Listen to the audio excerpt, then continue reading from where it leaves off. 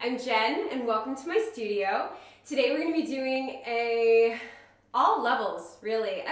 The last part may be a little more on the advanced side so you could like stop at the third part if that's a little too advanced for you or for your students if you're bringing this to class. Um, but we'll go with like intermediate. We'll just call it intermediate and you can decide if it goes more toward beginner or advanced. It always depends on the tempo. So yeah, it's a technique exercise that is for across the floor. This is my favorite part of class. This is my students' favorite part of class. We love to go across the floor. I know when I take a jazz and or contemporary class, I love across the floor. And it's not just because it's like, okay, let's let's move in one direction and it's, you know, it's just a short combination. It's that you get to move throughout the space. A lot of times as tap dancers, we are so confined, as you can see here. We're so confined to like one square across the floor allows us to use all these steps that we know and move them. Take up as much space as we can, as much space as we are able to. I love it, and my students love it. So this is a great combination for class for across the floor, or if you just want to work on flaps and you have a bigger space, you can also do it across a little floor. So I've done across the floor videos on this channel. I have across the floor combinations, like I think I have like 10 of them. I stopped doing them because I, I, the reviews, like not the reviews, but like the view counts on those versus other types of tutorials weren't as high. So I assumed people didn't want like those full across the floor videos where I would like basically take you on an across the floor sequence in my class and do it this way, that way, this way, and that way, and maybe it just took too long, I don't know. So if you guys would like to see those come back, please let me know in the comments. I'd be happy to do one, but I also am fine making just individual across the floor combinations to show you so that you can have it. So that's what we're doing today. Also, if you are not already subscribed to this channel, do the thing. All right, so this starts with two flap heels and then has four flaps. Every single section has four flaps as the second part. It's the first part that varies. So we start with two flap heels and four flaps, one of my favorite phrases of all time. So rhythmically, that's a one, two, three, four, five, six, seven. So let's just do that together to make sure we got that. Five, six, five, six, seven, eight. One, two, three, four, five, six, seven, eight. Awesome. From there, your right foot's free, you would do, instead of flap heel, it'd be flap heel heel. And this is flap back heel, front heel. So you still have the four flaps at the end of it, but instead of flap heel, you have flap heel heel. So let's try the first part and the second part together.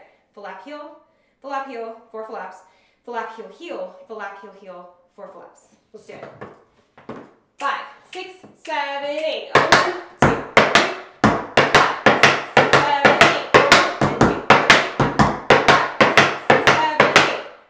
Awesome. Part three.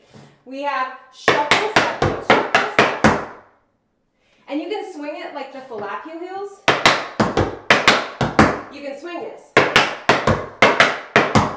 So I probably will swing it because I love to swing things as we tap dancers do. And also because it matches the rhythm, so I like it and it'll work with the last part too. So I'm gonna go shuffle, step, shuffle, step, and then the four flaps. So let's try adding that on. So first three parts. Ready? From the flap heel. Five, six, seven, eight. One,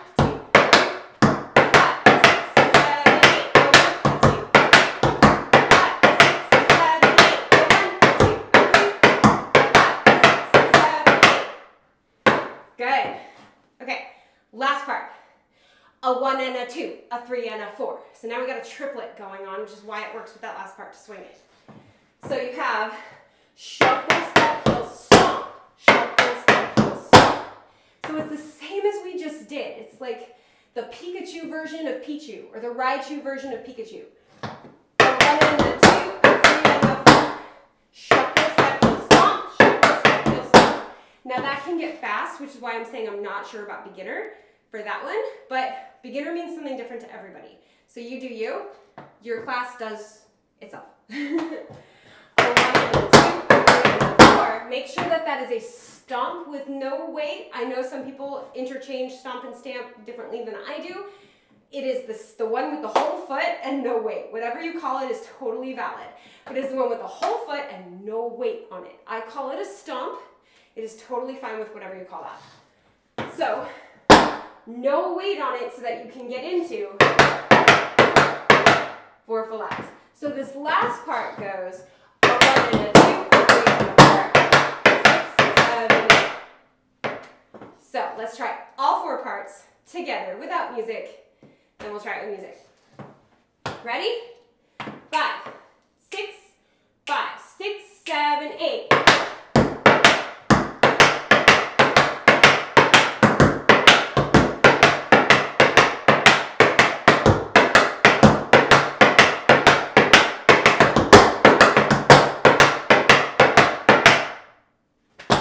Not bad, right? All right, let's try it with some music.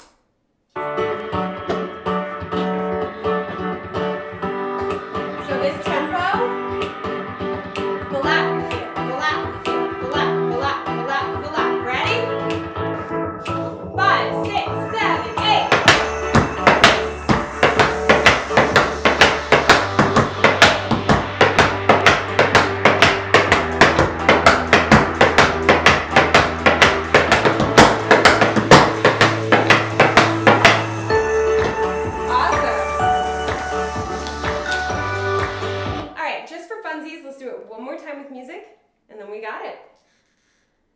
This is fun. I like this one.